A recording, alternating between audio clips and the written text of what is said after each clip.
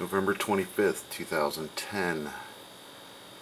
Deep sea lava baked sediments add to warming. This is a very interesting read.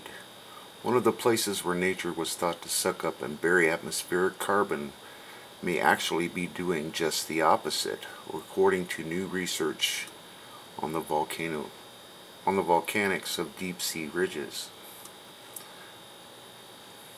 And of course I will post the story below. And basically this is going on with um, what especially surprised the researchers was how far the magma sills were located from the narrow ridge where magma is typically found at most ocean floor spreading centers.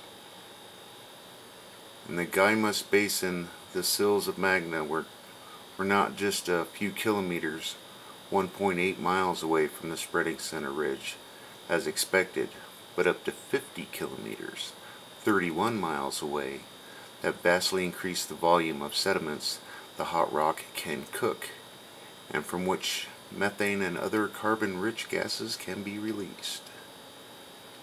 So, there it is, mystery solved. Why are the oceans warming up?